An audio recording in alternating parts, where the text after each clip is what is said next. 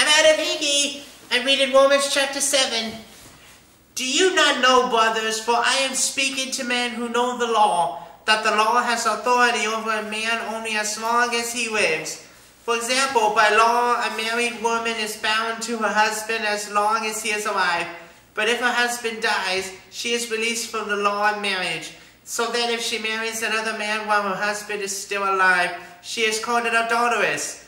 But if her husband dies, she is released from that law and is not an adulteress, even though she marries another man.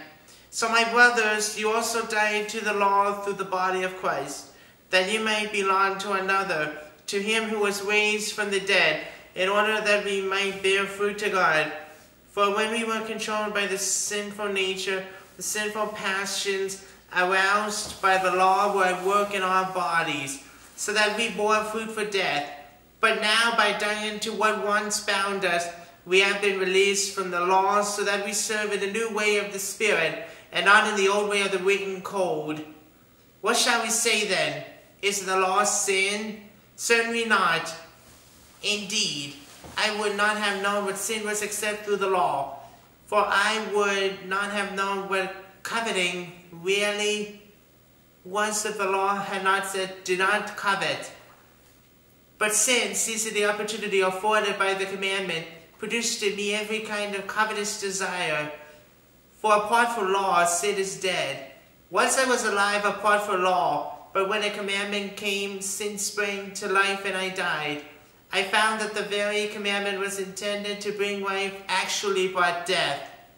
For sin, seizing the opportunity afforded by the commandment, deceived me, and through the commandment put me to death. So that the law is holy, and the commandment is holy, righteous, and good. Did that which is good then become death to me? By no means. But in order that sin might be recognized as sin, it produced death in me through what was good, so that through the commandment sin might become utterly sinful. We do know, we know that the law is spiritual, but I am unspiritual, so does the slave to sin. I do not understand what I do.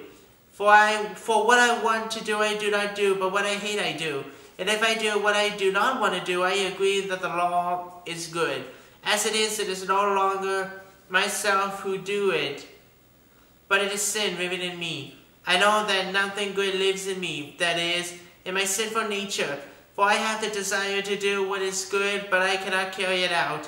For what I do is not the good I want to do. No, the evil I do not want to do. This I keep on doing.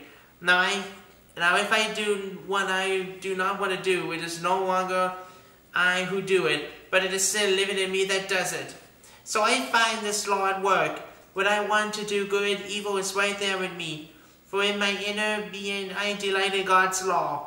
But I see another law at work in the members of my body, waging war against the law of my mind and making me a prisoner of the law of sin at work within my members.